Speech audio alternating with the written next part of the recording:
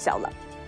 顶着强风大雨，工作人员加紧脚步拆活动音架以及灯座。一年一度原定中元节晚上举办的恒春树菇棚，周二晚间临时喊卡。一些登记的部分是怕台风损损坏，所以我们先拆除。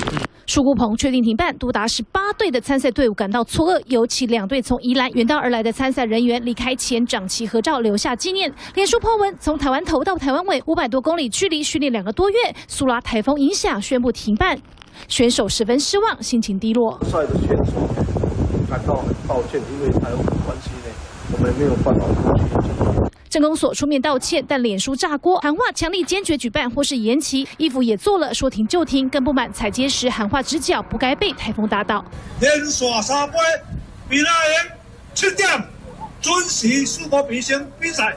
早在前一天下午，镇长直角请示，获得三个醒杯，广播树菇棚照办。但到了晚间，恒春地区宣布停班停课，紧急喊卡。啊，台风警戒啊，啊无停嘛袂使，啊无若出什么问题。